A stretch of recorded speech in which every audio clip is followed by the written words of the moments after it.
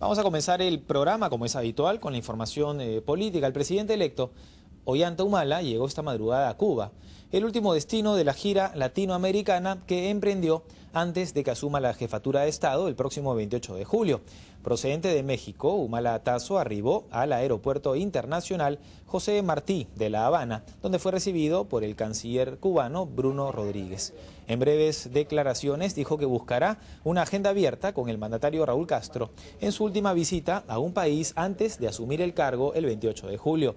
Durante su estancia de un día en la isla, no se descarta que Humala Tazo se encuentre nuevamente con el mandatario de Venezuela, Hugo Chávez, al que visitó en Caracas el viernes pasado, un día antes de que éste regresara a La Habana, para continuar su tratamiento contra el cáncer que padece. Humala viajó a La Habana desde México, donde visitó ayer al presidente Felipe Calderón, dentro del recorrido que ha dedicado las últimas semanas a viajar por la región para recibir el saludo de sus futuros colegas. Habíamos venido eh, a, visitar un pueblo hermano, el pueblo de Cuba, y a plantear una agenda abierta con, su presidente.